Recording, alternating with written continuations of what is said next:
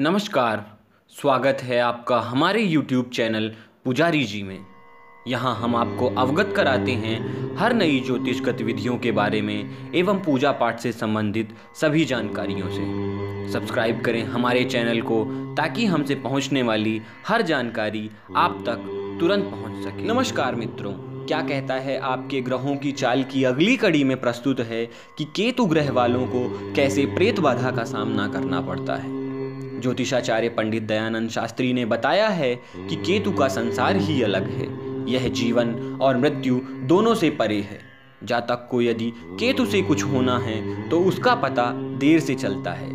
यानी केतु से होने वाली बीमारी का पता चलना मुश्किल हो जाता है। केतु थोड़ा सा खराब हो तो फोड़े, फुंसियाँ आदि देता है। और यदि थोड़ा और खराब हो तो घाव जो देर तक ना भरे, वह केतु की वजह से ही होता है। केतु मनोविज्ञान से संबंध रखता है। ऊपरी कसर या भूत प्रेत बाधा केतु के कारण ही होती है।